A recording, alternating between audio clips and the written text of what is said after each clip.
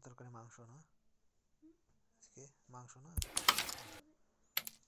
দেখে আসো দিনি কী তরকারি।